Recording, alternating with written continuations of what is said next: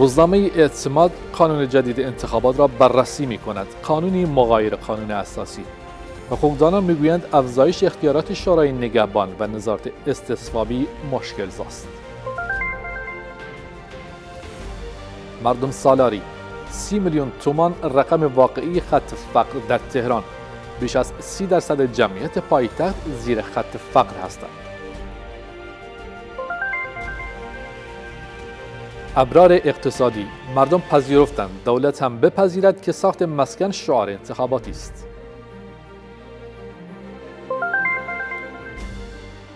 آرمان ملی. دلارها کجا خرج می شوند بررسی آرمان ملی در مورد نحوه مصرف منابع ارزی آزاد شده ایران از عراق و کره جنوبی. روزنامه کار و کارگر. نمایندگان مجلس در نیمه دوم سال چاره ای جز افزایش دستمزد نداریم هر سال با وعده کنترل تورم حقوق کارمندان و کارگران را سرکوب می کند.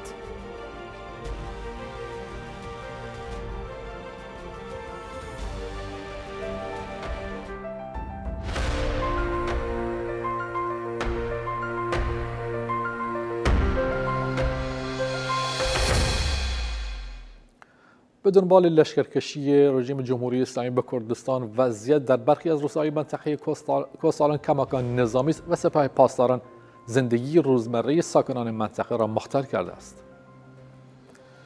گزارش از شرق کردستان حاکی است که امروز دوشنبه 29 خرداد وضعیت در بخشهایی از روستاهای منطقه کوسالان همچنان نظامی است. رفت و آمد اهالی برخی از روستاها بر سر زمینهای کشاورزی ممنوع شده نیروهای اشغالگر سپاه پاسداران زندگی روزمره مردم را مختل کردند. قسمت وسیع از طبیعت و درختان منطقه به دلیل بارانهای سپاه در آتش سوخته و نظامیان رژیم در برخی مناطق هم تعمدن درختان منطقه را به آتش می‌کشند. بیش از یک هفته است که سپاه پاسداران به بهانه وجود گریله های کردستان به منطقه کوسالان مریوان لشکرکشی کرده و این منطقه را از زمین و هوا هدف حمله نظامی قرار داده است.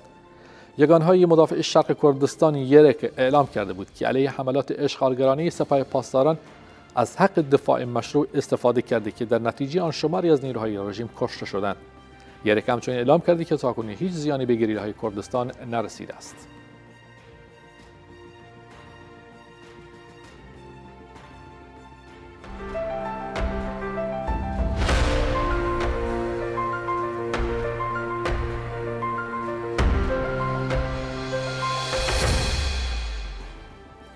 شیار شافگر از فرماندهان یگانهای مدافع شرق کردستان یرکه در مورد حملات نیروهای به نیروهای یرکه گفتگویی با فراد نیوز انجام داده و گفت ایران ترکیه و عراق در مورد خلع اصلاح جنبش آزادی خواهی کردها به توافق رسیدند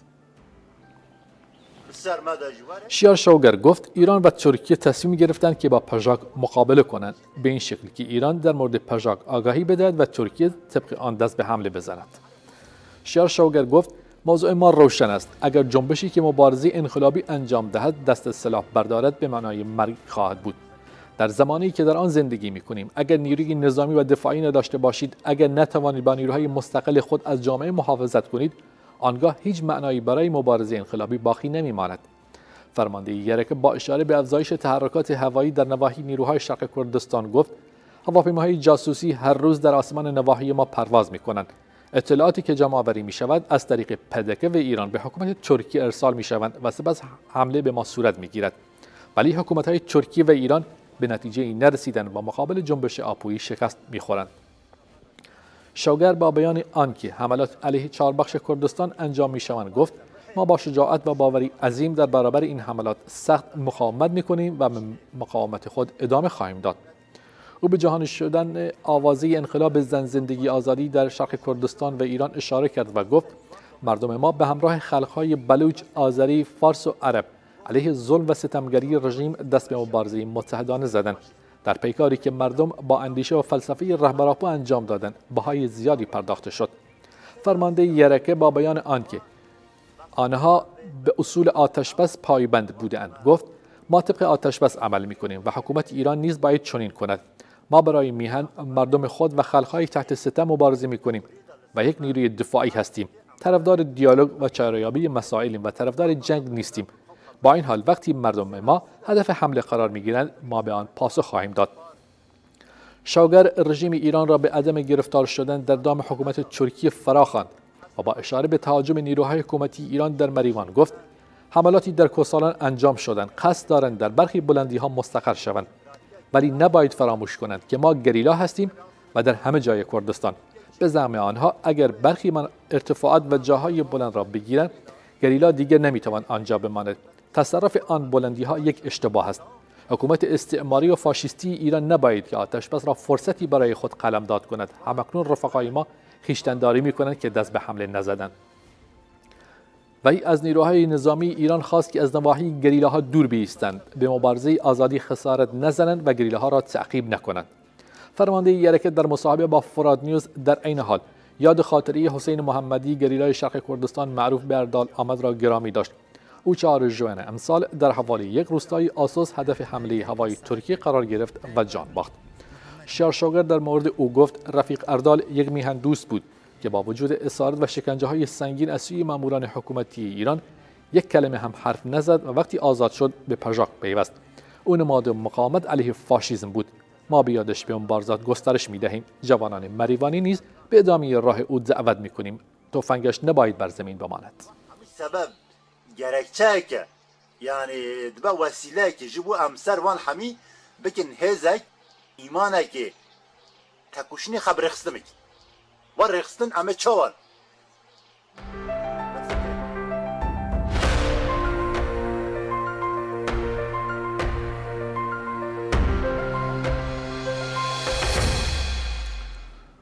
شورای همکاری نیروهای چپ و کمونیست در یک بیانیه مشترک حمله سپاه پاسداران به کوسالان و لشکرکشی به کردستان را محکوم کرد.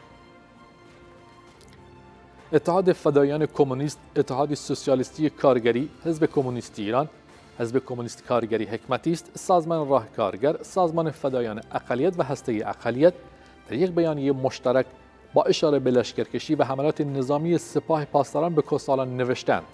جمهوری اسلامی به بهانی مختلف از جمله کنترل فعالیت نیروهای سیاسی کرد در منطقه روزانه به سرکوب مبارزات جنبش های اجتماعی و کارگران و مردم زحمتکش کردستان دست می‌زند اما نمی‌تواند صدای آزادی خواهانه و اعتراضات آنان را خاموش سازد.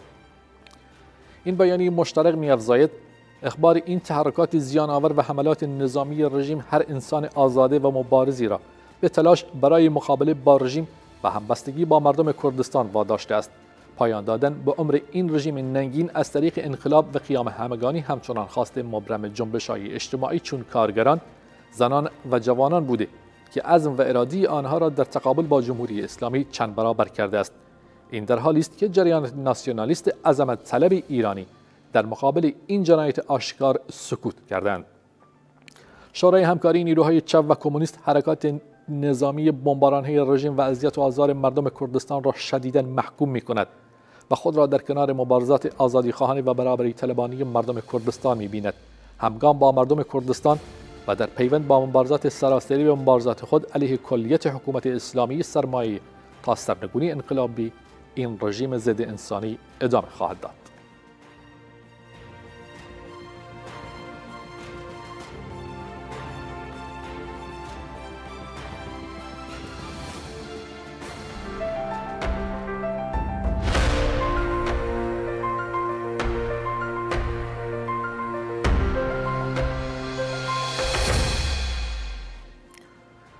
آمد شاها عضو مجلس پژاگ در مطلب اقدام به واکاوی دلایل حملات سپاه به کردستان کرده و می‌گوید مقاومت کوسالان انقلاب زن زندگی آزادی را شعله ورتر می کند وی جنگ افروزی رژیم ایران را پاسخی به راهبردهای صلحجویانه دموکراتیک پژاگ در کنفرانس اخیر پارلمان اروپا می داند. در پی برگزاری کنفرانس انقلاب با پیشتازی زنان ایران در آستانه انقلابی از سرکوب از سوی پلتفرم دموکراتیک ایران با همکاری انستیتوی کردی بروکسل موجی از حملات به کردستان از دوازدهم ژوئن شکل گرفت. احمد شاه با طرح این سوال که مگر اهمیت این کنفرانس چی بود که رژیم با لشکرکشی به کوسالان و سایر نواحی کردستان به آن پاسخ داد؟ می‌پرسد آخر رژیم چه مشکلی با عبارت حل و فصل دموکراتیک مسئله کرد و دموکراتیزه کردن ایران دارد؟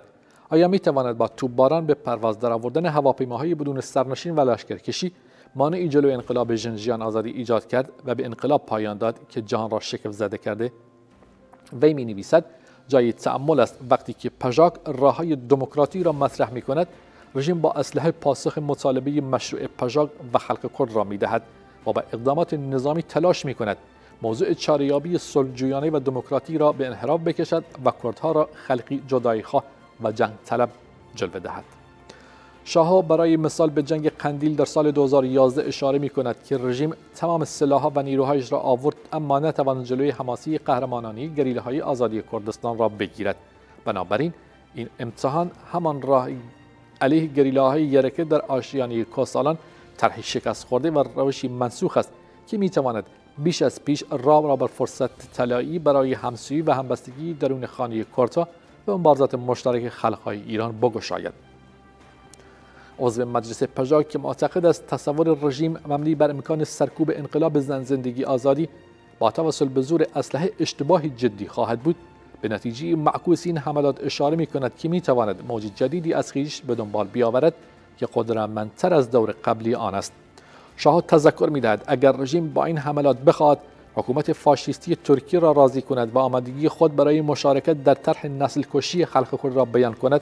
تنها راه پیش پای مردم و گریه های کردستان تشدید مقاومت و مبارزه با فاشیزم و اشغالگری خواهد بود. و تسلیم می کند اگر رژیم به حملاتش ادامه دهد یگانهای مدافع شرق کردستان در چارچوب حق دفاع مشروع به هر گونه حمله ظالمانه واکنش نشان می‌دهند.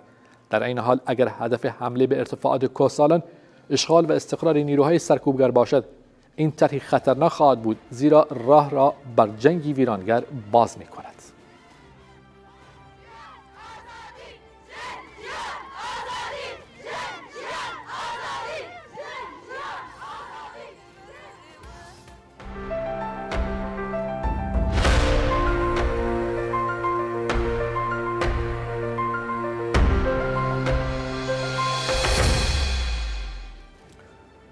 در پی رد احتمال بازبینی مصابه مربوط به حداقل دستمزد کارگران توسط وزیر کار دولت ایران خبرگزاری ایلنا گزارش داده است که در وضعیت کنونی خانواده هایی با دو شاغل نیز همچنان زیر خط فقر هستند و خط فقر در تهران سی میلیون تومان است. بر اساس مصابه شورای کار حداقل حقوق کارگران مجرد و بدون سابقه 3 میلیون و 700 هزار تومن و برای کارگران با دو فرزند 5 میلیون و 800 هزار تومن در نظر گرفته شده که فقط 21 درصد بیشتر از سال گذشته است. خبرگزاری ایلنا روز یک شنبه 28 خرداد در گزارشی با بیان اینکه این ارقام تنها کفاف یک سوم هزینه های خانوارها را می‌دهد نوشته است. سه ماه از سال 1402 گذشته ولی در همین مدت صعود شتابان قیمت ها داده های اقتصادی را دچار یک دگردیسی جدی کرده است. در روزهای اخیر ارقام جدید در مورد شاخصهای مان در رقم خط فقر و نرخ خط فقر منتشر شده که نشان می‌دهد اعداد مبنا در مذاکرات مزدی 1402 تناسبی با واقعیت ها نداشته است. پارسال وزارت کار در گزارش اعلام کرد که یک سوم جمعیت کشور زیر خط فقر هستند. اخیرا نیز مرکز پژوهش‌های مجلس نیز گزارش داده که 30 درصد جمعیت ایران زیر خط فقر هستند. در گزارش دیروز ایلنا به داده های مرکز پژوهش های مجلس شورای اسلامی اشاره شده که در آن گفته شده نرخ خط فقر طی یک دهه از 19 درصد به بیش از 30 درصد افزایش یافته است. اخیرا مرکز پژوهش های مجلس درباره افزایش نرخ خط فقر اعلام کرده است که این نرخ طی یک دهه از 19 درصد به بیش از 30 درصد افزایش یافته است در واقع بیش از 30 درصد جمعیت زیر خط فقر هستند و بر اساس معیارهای بسیار حداقلی فقیر به حساب می آیند.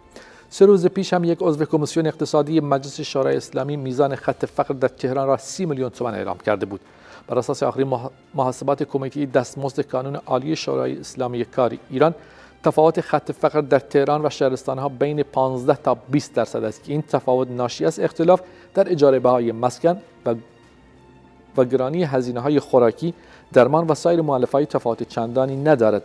با این حال حساب وقتی خط فقر در تهران 30 میلیون تومان است با در نظر گرفتن تفاوت 20 درصدی خط فقر شهرستان حدود 24 میلیون تومان می شود در واقع اگر در یک خانواده شهرستانی دو نفر شاغل باشند و هر کدام ماهی 10 میلیون تومان حقوق بگیرند باز هم قادر به تامین نیازهای یک زندگی شایسته نیستند. طی سالهای اخیر مشکلات معیشتی در ایران از جمله تورم مواد خوراکی و قیمت مسکن و اجاره بها تشدید شده است. بانک مرکزی ایران اعلام کرده نرخ تورم اردیبهشت ماه امسال 55 ممیز 7 درصد بوده است.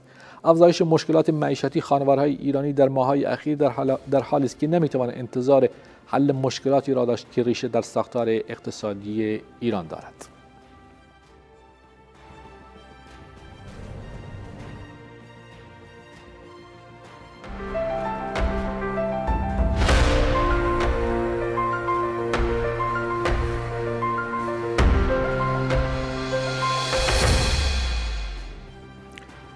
دختری هشت ساله که در کرج مورد شکنجه های شدیدی قرار گرفته بود جان خود را از دست داد. او قربانی کودک آزاری شد.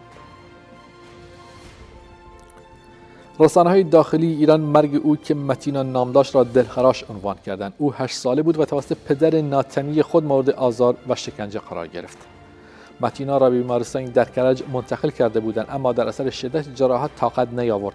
اعضای بدن او به بیمارانی نیازمند اهدا شده است. قلب متینای کوچک که خودش از جهان چشم بست با اجازه مادرش به زندگی دوباره یک بیمار کمک کرد. پزشکان گفتند روی بدن او آثار متعدد کبودی و زخم وجود داشت. مرد قاتل دستگیر شده است. همسایه ها بارها صدای درگیری و کتک خوردن متینا را از خانه شنیده بودند. در ایران موارد بسیار هولناکی از کودک آزاری مخابره شدند. حتی تعرض به کودکان تحت عنوان همسر در این کشور قانونی است. قوانین جمهوری اسلامی از کودکان محافظت نمی کنند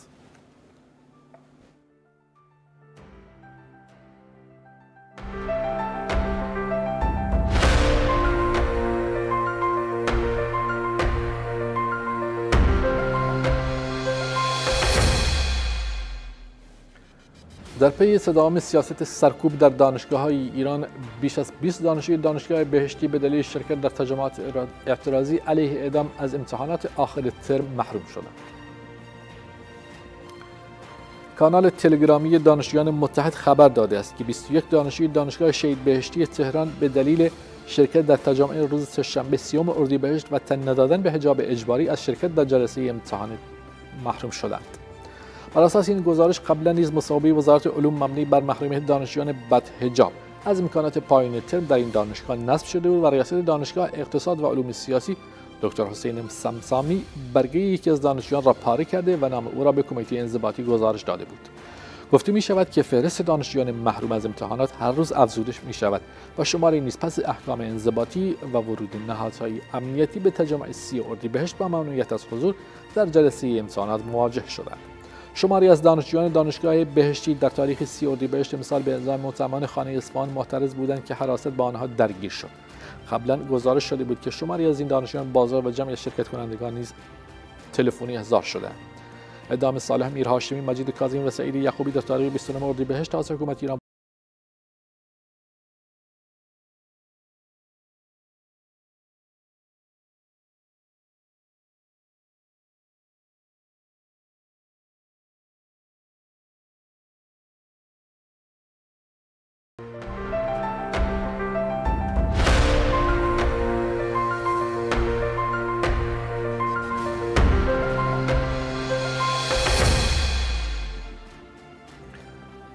جان اعضای جانباختگان اعتراضات سراسر چهار در محبت به دست نیروهای امنیتی در محل کارش بازداشت و مکانی نامعلوم منتقل شد. طبق گزارش شبکه قبشتر کردستان دیروز یک شنبه 28 خرداد عبدالله احمدپور برادر کمال احمدپور از جانباختگان خیزش زن زندگی آزادی در محبت توسط نیروهای امنیتی در محل کارش بازداشت و به مکان نامعلومی منتقل شد. گفته می شود این شهروند در مقابل مغازش بدون ارائه حکم قضایی از سوی ماموران امنیتی بازداشت شده است. کمال احمدپور در تاریخ 27 آبان 1401 در جریان اعتراضات مردمی محبت در اثر تیراندازی نیروهای امنیتی جان باخته بود. هنوز علت بازداشت این عضو دادخواه خانوادی احمدپور مشخص نیست. شبکه مباشر کردستان می‌گوید عبدالله احمدپور در مقابل مغازش بدون ارائه حکم قضایی بازداشت شده است. در چند هفته گذشته فشار و بازداشت اعضای خانواده دادخواه در کردستان توسط نهادهای امنیتی افزایش پیدا کرده است. پیشتر در تاریخ 19 خرداد جمعی از خانواده دادخواه از شهرهای دهگولان دیواندره و سنه که به مزار جان باختگان اعتراضات مردمی در شهرهای بوکان و سقز حضور پیدا کرده بودند. توسط ماموران امنیتی در نزدیکی بوکان بازداشت شدند. تعدادی از بازداشت شدگان از جمله چند کودک پس از چند ساعت آزاد شدند اما دست کم 6 نفر از خانواده دادخواه پس از چند روز بازداشت با قرار وسیقه به صورت موقت آزاد شدند.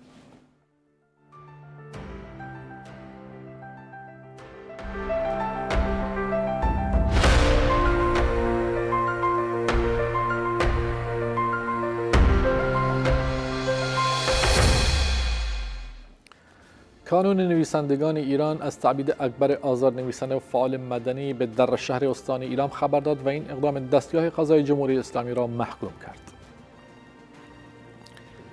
اکبر آزاد نویسنده و فعال مدنی به در شهر در استان ایلام تبعید شده و کانون نویسندگان ایران در بیانیه که روز یکشنبه در کانال تلگرامی خود منتشر کرده نوشته ارگانها و مقامات دولتی در شهر در شهر ایلام هیچ گونه امکانی در اختیار او نگذاشتند و همه هزینه های ایاب و ذهاب اقامت و اسکان و خورد و خوراک را باید خود تأمین کند. از این گذشته ارتباطات تلفنی او با مشکلات عدیده روبروست اکبر آزاد نویسنده و فعال مدنی 67 سال پیشتر به مدت دو سال در زندان تهران بزرگ محبوس بود. اکبر آزاد دانش آموختی رشته جامعه شناسی و در سالهای نخست پس از انقلاب پنجا مردم 57 در مجله وارلیق قلم می‌زد. دهان مخالف در زمین های فرنگ و ادب حاصل کار او در این مجله است. این نویسنده در سال 1392 و در پی شرکت در مراسم روز جهانی زبان مادری در جنوب تهران بازداشت و سه سال بعد به اتهام تشکیل جمعیت با هدف برهم زدن امنیتی جمهوری اسلامی به زندان و تبعید محکوم شد. او به بیماری دیابت مبتلا است. کانون نویسندگان ایران نوشته صدور چنین احکام ظالمان ایران مستق نقض آشکار آزادی بیان و ستم در حق همه کسانی می‌دانند که می‌خواهند به زبان مادری خود بگویند و بنویسند و منتشر کنند. از این رو مسئولیت هر گونه گزندی به جان نویسنده و عضو خود را متوجه کار به مقامات ایران و مجریان این احکام ضد انسانی می‌داند.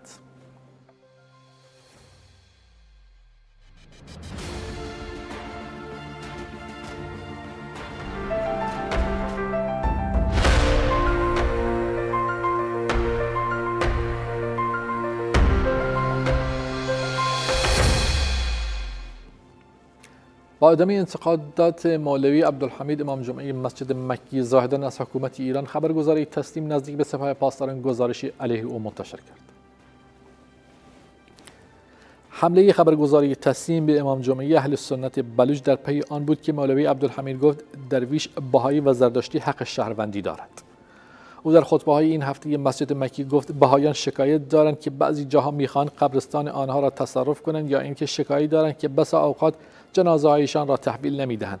عبدالحمید از اعدام چند زن بهایی سخن گفت که جنازه آنها را تحویل ندادند و خود مأموران جنازه ها را بردن و دفن کردند. پایگاه خبری وابسته به سپاه پاسداران اظهارات مولوی عبدالحمید در مورد مرتد نبودن نسل جدید بهایان را زیر سوال برده و حرفهایش را خلاف واقع و مغایر امنیت ملی کشور دانسته است. تسلیم با انعکاس دیدگاه های جمهوری اسلامی نوشته است که باهایت یک دین ساختگی است و پیروان آن مرتد و کافر هستند.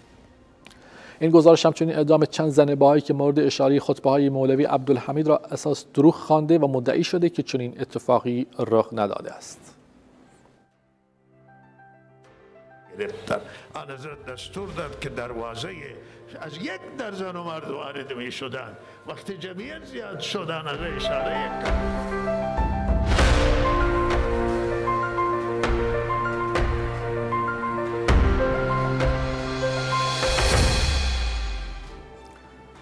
محرومیت از حق آموزش به زبان مادری و تبعیض‌های نژادی و طبقاتی دلیل اصلی پسرفت‌های آموزشی در بین کودکان دو زبان در ایران است. یک مقام دولتی در گفتگو با خبرگزاری ایلنا آن کرده که طی سال گذشته 50 هزار دانش آموز پایه اول عمدتا در استانهای دو زبانه به دلیل نداشتن آمادگی مردود شدند. روز یک شنبه 28 خرداد 1402 مشتبه همتی فر رئیس سازمان ملی تعلیم و تربیت کودک در مصاحبه خبری اعلام کرد. بر اساس آمار منتشر شده حدود 50 هزار کودک کلاس اول عمدتا در مناطق دو زبانی ایران مردود شدند. این آمار معادل 3 درصد کل دانش آموزان پایی اول در سال گذشته است. او افزود بیشتر کودکان مردودی در مناطق دو زبانی ایران ساکنند و یکی از علتهای مردودی در پای اول دبستان این است که کودکان آمادگی لازم برای ورود به کلاس اول را ندارند. این مقام دولتی گفت دولت طبق سند تحول بنیادین آموزش معذب برگزاری دوره پیش دبستانی در مناطق دو زبان است. اما به خاطر محدودیت اعتبار و بودجه وزارت آموزش و پرورش همه این مناطق را پوشش نداده است. طبق آخرین گزارش مرکز پژوهش‌های مجلس ایران با افزایش 17 درصدی 2011 و 272 کودک لازم التعلیم در سال تحصیلی 1400 و 1401 از تحصیل باز ماندند و تعداد 279019 هزار دانش آموز در این سال تحصیلی ترک تحصیل کردند. کودکان از ملیت های غیر فارس ایران مجبورن با زبان سواد آموزی کنند که کاملا با آن بیگانه هستند و یا آشنایی خیلی کمی با آن دارند مشکل این کودکان در درک مفاهیم درسی نیست بلکه آنها زبان معلم را درک نمی کنند و سبب می شود که تا کودکان دو زبان ذوق و شوق کودکانه برای رفتن به مدرسه را از دست بدهند. به تایید مخامه رسمی تبعیض طبقاتی تبعیض جنسیتی فقر فرهنگی و سایر محدودیت ها و محرومیت ها مانع تحصیل کودکان بخصوص در استانهای دور از مرکز می شوند یکی از این محرومیت ها محرومیت از حق آموزش به زبان مادری است.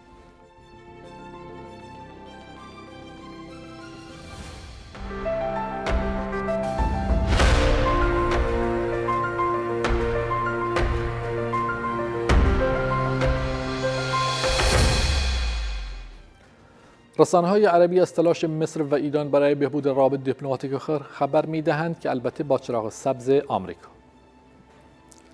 به گزارش العربی الجدید یک مقام مصری که نخواست نامش فاش شود تایید کرده که تلاش ها برای بهبود رابط ایران و مصر در حال انجام است و گفته هنوز مسائل زیادی در مسیر عادی سازی رابط ایران و عراق و مصر کسی باید حل و فصل شود. این در حالی است که روز جمعه محمد حسین سلطانی فر رئیس دفتر حفاظ منافع ایران در قاهره طی اسارتی تاکید کرد که گسترش رابط ایران و مصر تاثیر سازنده بسیار مهمی در روابط ایران با کشورهای عربی و تحولات منطقه‌ای خواهد داشت. سلطانی فر افزود که همکنون گفتگوهایی برای افزایش سطح رابط دو کشور به سطح سفرا جریان دارد. روز سهشنبه گذشته عبدالفتاح السیسی رئیس جمهور مصر در قاهره میزبان محمد الشیع السودانی نخست وزیر عراق بود. به گفته منابع عراقی و مصری موضوع روابط ایران و مصر در این دیدار بررسی شده است. العربی الجدید به نقل از مقامات مصری نوشته که السودانی حامل پیام تازی از جانب ایران به مصر بوده. السودانی پیشنهاد برگزاری دیداری مقدماتی میان مقامات ایران و مصر در بغداد و افزایش سطح دیپلماتیک دو کشور را داده است. بغداد در ماه مارس گذشته میزبان دو نشست محرمانی مقامات ایران و مصر زیر نظر دفتر نخست وزیر عراق و وزیر خارجه این کشور بوده است. درباره موضوع آمریکا در این باره گزارش العربی جدید تصریح می کند که قاهره چراغ سبز آمریکا یا دست کم اشاره درباره عدم مانعت آمریکا دریافت کرده است. البته باید گفت که این پرونده میان قاهره و واشنگتن به صراحت مطرح نشده است. العربی جدید همچنین درباره نقش امان در وساطت میان تهران و قاهره میافزاید که هم عراق و هم امان در حال میانجیگری.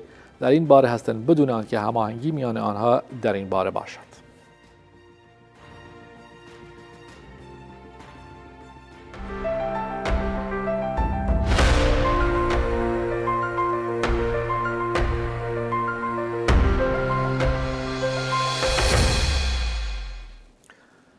ولی بینندگان گرامی در این قسمت از کیوسک همراه میشیم با همکاران من در مرکز خبر لاوان محمدی. نگاهی داره به گزارش و سطیت خبرهای رسیده به مرکز خبر. لاوان خسته نباشید میگم. ممنون آرام. آخرین خبرهایی که در واقع در بولتنهای خبری واحد خبر آریان تیوی جای گرفته. حمایت دانشجویان دانشگاهی مختلف ایران از دانشگاهی از دانشجویان دانشگاه هنر که طی روزهای و هفته های اخیر با فشارها انواع فشارها سرکوبای نهادهای امنیتی و نظامی رژیم مواجه شدند و همچنین امروز برای چندمین بار است که در واقع گرد و غبار به استانهای شرق کردستان در واقع نفوذ می‌کنه. امروز استانهای سنو کرماشان در وضعیت هشدار قرار گرفتن در رابطه با دیدارهای دیروز خانواده های جانباختگان انقلاب ژنجیان آزادی بر سر مزار شهیدان در بوکان خبر تهیه خواهیم کرد و همچنین اظهارات مادر کیوان محتدی زندانی سیاسی که در واقع گفته هیچ خبری از فرزندش نداره و همچنین آخرین خبرات در مورد وضعیت نظامی و حملات نظامی رژیم ایران به کسالان رو بررسی خواهیم کرد و همچنین هشدار مجدد هواشناسی ایران در رابطه با سیل در اردبیل و تبریز. در واقع سیل هفته گذشته در اردبیل تا کنون هفت فوتی و دو مفقودی در چالوس بر جای گذاشته. فشارها و سرکوبا علیه فرهنگیان و معلمان در ایران رو بررسی خواهیم کرد. در واقع 11 عضو کانون سنفی معلمان خوزستان احکامشون صادر شده و همچنین بیانیه کانون سنفی معلمان ایران در تهران در رابطه با بیقانونی های متعهد در پرونده اسماعیل عبدی بیانیه منتشر کردند و شورای سازماندهی اعتراضات کارگران پیمانی نفت در رابطه با افشا شدن نامه از مکاتبات وزارت اطلاعات با معاون اول دولت در رسانه ها که منتشر شده در واقع یک بیانیه داده و گفته که این نامه نشان میده که در واقع اعتصابات کارگری چه تأثیری در واقع بر رژیم و همچنین منجر, منجر به وحشت مقامات رژیم شده است.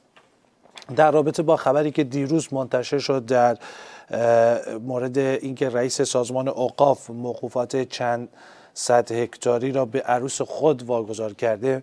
در واقع امروز ما گزارش در مورد اون یه گزارش مفصل تهیه خواهیم کرد و همچنین در مورد اسکان 20 میلیون نفر توسط رژیم ایران در سواحل مکران که با به منظور تغییر دموگرافی در این منطقه در بلوچستان انجام گرفته میشه و همچنین روزنامه پیام ما در مورد آلودگی عرض هشدار داده که به مواد رادیواکتیو و فلزات سنگین و همچنین در بولتن خبری زن در واقع در رابطه با فشارها و سرکوبها علیه زنان که فعالین زنان فعالین سیاسی و مدنی را بررسی خواهند کرد و همچنین در مورد وضعیت زنان در افغانستان و فشارها و سرکوبایی که توسط طالبان علیه زنان در افغانستان انجام می‌گیره در ادامه سلسله گزارش های خود روایتگری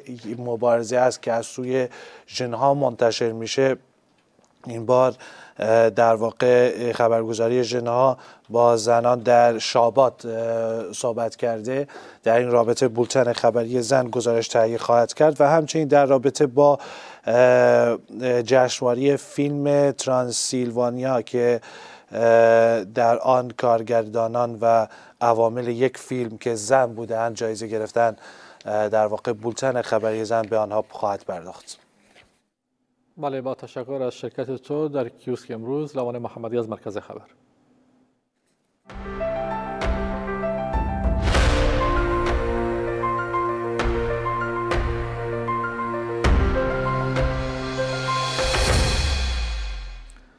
ضرب شتم یک روزنامه نگار توسط یک مأمور پلیس ترکیه و یک عضو حزب اردوغان در منطقه بدلیس کردستان طی تجمعی محکوم شد. سینان آیگل دو روز پیش به دنبال آن مورد ضرب و شتم قرار گرفت که در مورد فساد و فروش زمین توسط شهرداری حزب عدالت و توسعه در منطقه تاتوان استان بدلیس گزارشی منتشر کرده بود. او توسط محافظ شهردار و یک مأمور پلیس هدف حمله قرار گرفت. ایگل به شدت آسیب دید و او را بیمارستان منتقل کردند. نمایندگان سازمان های مدنی و سنف روزنامه نگاران طی تجمعی در بدلیس این حمله را محکوم کردند. آنها خواستار استعفای شهردار و محاکمه حمله کنندگان شدند.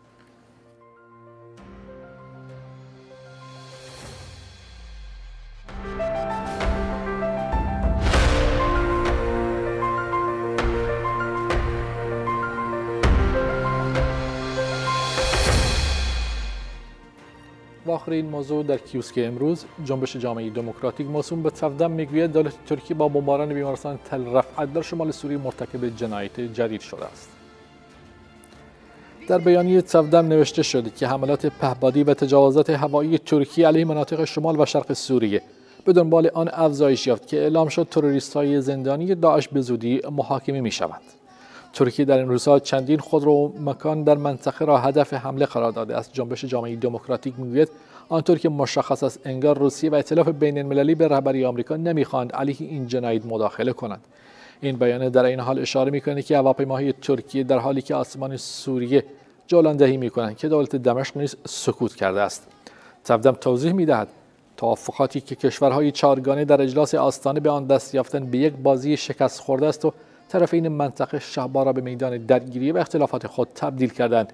بر اساس بمباران پهپادهای مسلح ترکی چندین نفر تاکنون قربانی شدند. هدف آنها شکستن اراده آوارگان افرین اشغالی است که در شهبا سکونت یافتند. این بیان تاکید می کند بمباران بیمارستان تل رفعت از سوی ترکیه اقدامی وحشیانه و جنایت جنگی بود. جنبش جامعه دموکراتیک سازمان ملل متحد و صلیب سرخ و سازمان های زیر ربط را مسئول این وضع زیرا هیچ نقشی ایفا نمی کند. على القرار السياسي. فمنذ مطلع عام 2022 ميلادي ورجب طيب أردوغان يهدد بحملة عسكرية.